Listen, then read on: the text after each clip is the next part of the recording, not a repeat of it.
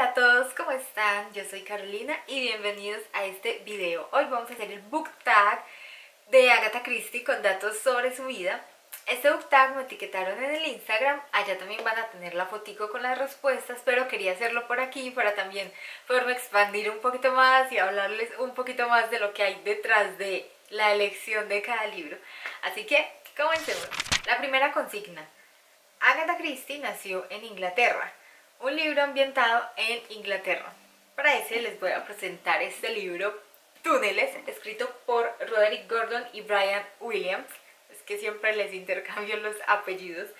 Eh, este libro no solo está ambientado en Londres, sino que está ambientado debajo de Londres, porque la pasión de Will, que es uno de los protagonistas, y su papá es excavar, y empiezan a excavar túneles y descubren unos túneles que no saben a dónde llegan y lo más misterioso es que al siguiente día que van a continuar los empiezan a encontrar tapados. Entonces todo esto se empieza a volver un misterio porque entonces de quién son esos túneles, quién los tapó, por qué no pueden avanzar y todo se empieza a poner muy raro con unas personas y con un olor a moho. Fue de los primeros libros que compré cuando estaba pues comenzando a crear mi biblioteca. Eh, yo se los rogaba a mi papá y también a veces vendí dulces para comprar algunos pero casi todos me los regalaron porque en verdad son, mm, son seis. Entonces, sí, aquí les presento este libro que creo que nunca había hablado de él por aquí. Segunda consigna. Su padre murió cuando ella tenía 11 años de edad, libro donde el padre, tutor o mentor haya muerto. Para esta les voy a presentar mi lectura actual, que es La Tierra de las Historias, escrita por Chris Colfer. Eh, aquí los protagonistas son estos dos mellizos que vemos aquí, eh, su padre murió y en el día de su cumpleaños, que pues se tornó en un día muy triste, eh, les regalan un libro, un libro muy especial que era de su abuela y resulta que este libro tiene vida y de alguna manera ellos terminan cayéndose en este libro y ese es el libro de las historias, de la tierra de las historias. Entonces, eh, pues esto les ayuda a vivir una aventura distinta, a despejarse un poquito y pues es mi lectura actual, así que luego les estaré contando más. Su primera novela publicada fue El misterioso caso de Stiles, libro que me lanzó al mundo literario o primer libro que leí por gusto. Bueno, ese es un libro que yo no tengo aquí, sino que es un libro que es de mi tío. Eh, cuando yo tenía como 11 años, creo, antes de leer Túneles, eh, yo me mantenía mirando la biblioteca de él. Y encontré un libro que se llamaba Pompeya, de, por aquí escribí el autor, de Robert Harris. Eh, y la cogí y la empecé a leer. No me acuerdo de nada, solo sé que está ambientada en esos días previos a la, a la erupción del Vesubio que borró esa ciudad y había algo con un acueducto y pues ya casi no me acuerdo nada. Es una novela histórica, yo creo que se la debería pedir otra vez. Así que sí, ese fue el primer libro que me leí por gusto. Que me acuerdo porque en el colegio sí leímos varios intercambiados y eso, pero son muy borrosos los recuerdos de esos. Y sí, creo a Poirot, ícono de la novela detectivesca. Personaje principal que nunca podré olvidar. Para ese les traigo uno de mis libros favoritos. Esta es la edición que he leído hasta ahora. Espero comprarme pronto la de los dos tomos em, de Alianza. Y les estoy hablando de Los Miserables. El personaje que traigo para esta consigna es Javert, porque es un personaje inolvidable. Es, digamos, una especie de villano, pero es que él es un justiciero y él cree que siempre está haciendo lo correcto. Eh, pero sí, es un personaje muy complejo. En la casa siempre estamos remedándolo en, en el papel de la película y pues sí, es inolvidable. Agatha Christie desapareció por 11 días. Libro que hayas perdido o prestado. Bueno, ese libro es Ensayo sobre la ceguera. Se lo presté a una compañera del colegio y pues nunca me lo devolvió. Yo ya no sé si todavía lo tiene o no porque no volvimos a tocar el tema y pues eh, no me molesta, seguimos siendo muy amigas. Su segundo matrimonio estuvo lleno de amor. Autor o género que al principio no te gustó pero que al leerlo por segunda vez te convenció.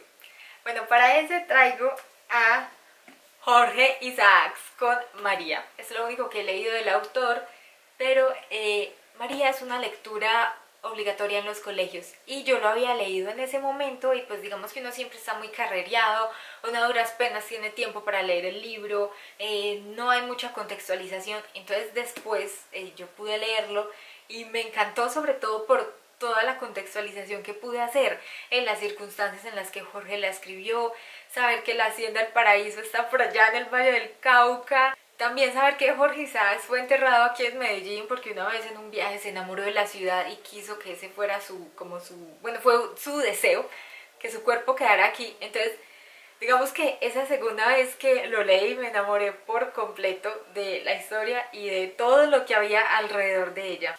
Y pues es un clásico de la literatura colombiana muy importante. Vivió entre Oriente Medio e Inglaterra. Estos viajes inspiraron algunas de sus novelas libro que te haya acompañado a algún viaje. Nosotros no es que viajemos mucho, pero el año pasado durante la cuarentena nosotros estuvimos súper, hiper, mega encerrados y a final de año pudimos ir a San Jerónimo, un lugar muy caluroso, muy rico para pasear y a ese viaje me llevé ese libro, Una educación de Tara Westover, que acabé de pronunciar, de Tara Westover y eh, es un libro muy pesado, es una memoria en el que ella nos cuenta cómo hizo, digamos, este viaje hacia una educación formal y que en el camino tuvo muchas dificultades con su familia. Por aquí arribita les estoy dejando los libros que tienen video por si les interesa ir a ver más la información. El caso es que como ya les dije, este libro es, era bastante pesado, me hizo sentir demasiadas cosas y yo venía de una temporada emocional muy difícil durante todo ese año y yo creo que si no hubiera sido porque lo leí, digamos, en ese, en ese lugar en el que estábamos, tan caluroso, un paseo familiar, eh, otro ambiente más abierto, más naturaleza, todo lo que tenía este ambiente eh, me ayudó a soportar este libro. Entonces yo creo que si no hubiera sido como por todo eso, eh, tal vez hubiera pospuesto el libro y no hubiera podido leerlo. Eso es lo que pienso ahora en retrospectiva. Así que sí, fue un buen compañero de viaje. En 1971 le concedieron el título de Dama del Imperio Británico, reconocimiento que haya recibido por algún concurso literario. Bueno, hasta ahora ninguno. En la gaceta del colegio que hicimos cuando nos graduamos casi me publican, casi, pero no pasó. Y pues bueno, que estés viendo esto eh, ya es bastante reconocimiento, así que espero que lo estés disfrutando. Agatha falleció a los 85 años de edad, libro que te dejó con un bloqueo lector o un libro difícil de leer. Para eso les traigo un libro que es muy bonito por fuera, pero fue muy difícil de leer. Cuentos de los hermanos Grimm. Eh, es muy cortito también, la letra es muy agradable y todo, pero yo no le estaba viendo sentido a las historias, yo sufría demasiado leyéndolas, eran muy perturbadoras, es increíble que fueran historias que les contaban a los niños antes de dormir el caso es que lo terminé porque eh, lo utilicé para un 12 horas leyendo cuentos de hadas, en el que leí este y uno que se llama Todas las hadas del reino de Laura Gallego. Entonces por eso lo logré terminar, eh, lo leí muy rápido, pero de verdad que eh, fue muy extraño. También les dije en ese video que creo que estos libros tienen mucho valor, pero por la carga cultural que tienen. Pero yo en verdad no vi que hubieran muchas lecciones muy claras. Y no, es que eran muy perturbadoras y para mí no tenían sentido. Y nuestra décima y última consigna es, después de su muerte se creó la Agatha Christie Society, grupos o redes relacionadas con la literatura a los que pertenezcas. Bueno, primero está YouTube, aquí donde hago los videos sobre literatura, libros, los blogs de lecturas, también está el Instagram, donde también les comparto mis reseñas, foticos, eh, frasecitas de libros y cositas así. Y algunos meses las lecturas conjuntas o los clubs de lecturas. Y eso fue todo por este tag. Eh, me encantó haberlo hecho. Les pude hablar de muchos libros que jamás les había mencionado, libros que leí hace mucho tiempo. Eh, debería volver a pedir prestados algunos. Si quieren pueden hacer el tag en cualquiera de sus redes o si quieren responder alguna de las preguntas en los comentarios, por favor pueden hacerlo. Me encantaría saber también cuál fue ese primer libro que leyeron por gusto y cómo les fue con él. Y pues bueno, esto es un book tag de Agatha Christie, entonces si conocen a la autora, la han leído o no, y si tienen alguna historia favorita de ella. Y ahora sí, muchas gracias por haber llegado hasta aquí y nos vemos en el próximo. ¡Chao!